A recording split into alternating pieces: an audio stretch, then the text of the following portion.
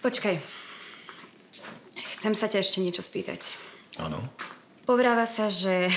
Neviem, či je to pravda, len mi bolo povedané, že... Áno, je to pravda. Aj keď na druhej strane si myslím, že to nie je žiadne tajomstvo.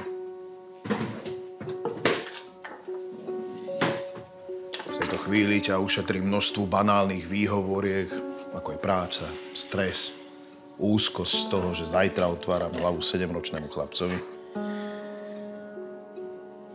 To všetko sú blbosti.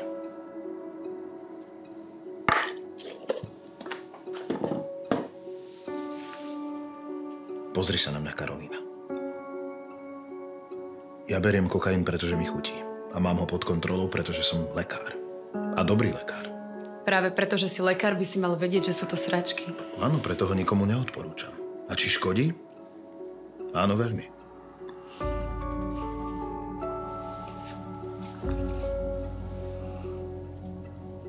Tak čo?